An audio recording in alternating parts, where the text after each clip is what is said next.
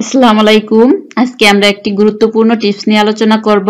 একজন মা প্রথম যখন গর্ভধারণ করেন, তার বিষয়টি খুবই স্বপ্নময় আনন্দের এবং খুবই এক্সাইটেড ইমোশনাল হয়ে থাকে। পেটের মধ্যে সন্তানকে নিয়ে তার মধ্যে আসে অনেক স্বপ্ন, অনেক আশা, আকাঙ্ক্ষা।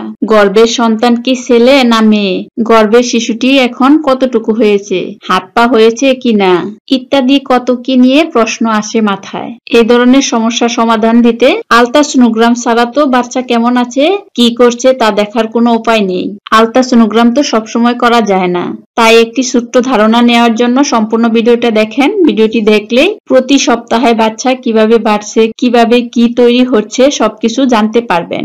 আজকের ভিডিওতে আমরা জেনে নেব গর্ভাবস্থায় একটি শিশুর কততম সপ্তাহে কি ঘটে তা আজকে আমরা বিস্তারিত জানব।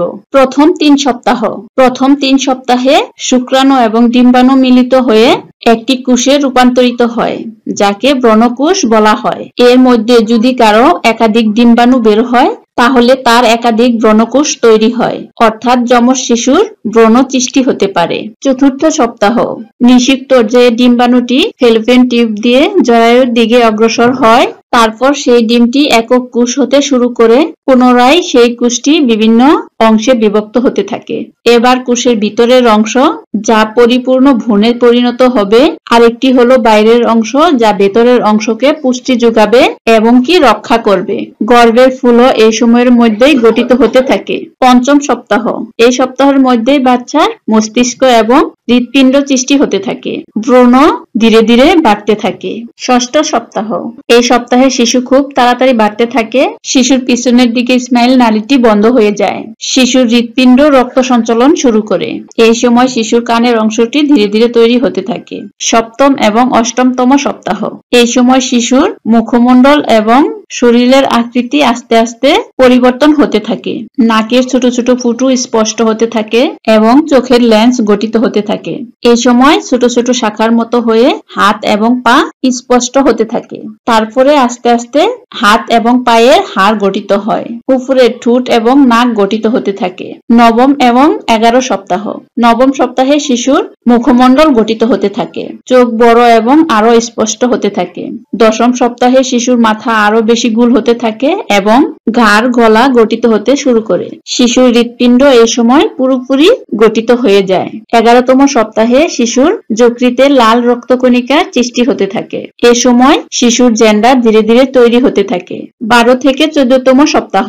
বারো থেকে চোদ্দতম সপ্তাহে ব্রণটি পুরোপুরি তৈরি হয়ে যায়। সব অঙ্গ প্রত্যঙ্গ পেশিসমূহ, হাত পা এবং হাড়গুলো জায়গা মতো বসে যায়, এবং কি শিশুর যৌন অঙ্গটি ধীরে ধীরে স্পষ্ট হতে থাকে। এ সময় শিশুর প্রস্রাব তৈরি হয়ে থাকে এবং কি ফ্লুইডের মধ্যে প্রস্রাব করা শুরু করে। পনেরো থেকে সতেরোতম সপ্তাহ।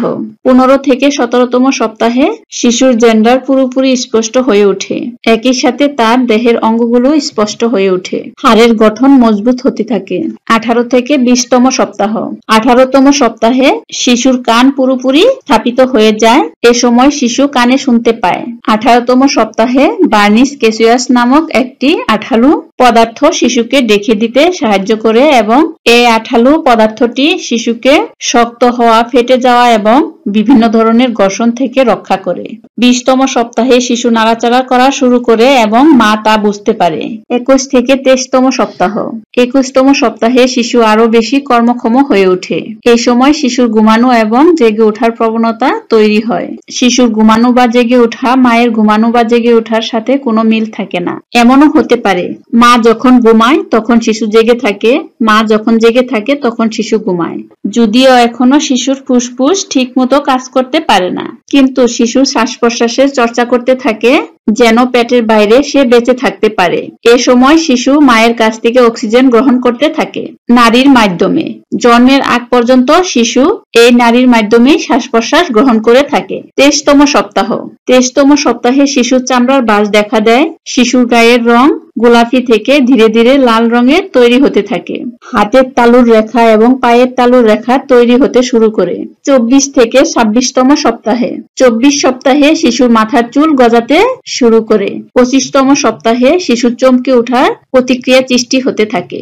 এ সময় শিশু কথা, নড়াচড়া এবং স্পর্শ ইত্যাদির প্রতি প্রতিক্রিয়া করতে সে সক্ষম হয়। ছাব্বিশতম সপ্তাহে শিশুর হাতের আঙ্গুল পুরোপুরি তৈরি হয়ে যায়। সাতাশ এবং আঠাশতম সপ্তাহ। সাতাশতম সপ্তাহে শিশুর ফুসফুস, মস্তিষ্ক, স্নায়ুতন্ত্র এবং পরিপাকতন্ত্র তৈরি হয়ে যায়। কিন্তু পুরোপুরি পরিপক্ক হয় না। এগুলো পরিপক্ক হতে গর্ভাবস্থার পুরো সময় লেগে যায় এবং এগুলো শিশুর জন্মের পর ঠিকঠাক মতো কাজ করা শুরু করে। এর আগে এগুলো প্রতিনিয়ত উন্নত থেকে উন্নত হতে থাকে। আঠাশতম সপ্তাহে শিশুর চোখের পাতা আস্তে আস্তে খুলে এবং এবং কি শিশুর চোখের পাতা গঠিত হতে থাকে। উনত্রিশ সপ্তাহে শিশুর হাড় পুরোপুরি গঠিত হয়ে যায়। যদিও সেগুলো নরম এবং নমনীয় হয়ে থাকে। এই সপ্তাহে শিশুর হাড়ের মজ্জায় লাল রক্তকণিকা গঠিত হতে থাকে এবং কি শিশু তার আঙুল চুষতে পারে। একত্রিশতম সপ্তাহে শিশুর স্নায়ুতন্ত্র এমন অবস্থায় আসে যখন সে শরীরের তাপমাত্রাকে নিয়ন্ত্রণ করতে পারে। বত্রিশ থেকে চৌত্রিশতম সপ্তাহ। এই সময় শিশুর শরীরের প্রয়োজনীয় খনিজ, লৌহ, ক্যালসিয়াম শোষণ করতে সক্ষম হয়। এই সময় শিশু নিচের দিকে মাথা দিয়ে শুয়ে থাকে। এবং জন্ম নেওয়ার জন্য প্রস্তুত হতে থাকে। এটা সেফালিক প্রেজেন্টেশন নামে পরিচিত। শিশুর চোখের তারা সংকোচন এবং প্রসারণ হতে থাকে, এবং কি তার চোখে আলো পড়লে সে তা শনাক্ত করতে পারে। এ সময় শিশুর হাড় আরও শক্ত হয় এবং কি মাথার খুলি থেকে আলাদা হয়? ৩৫ থেকে চল্লিশ সপ্তাহ।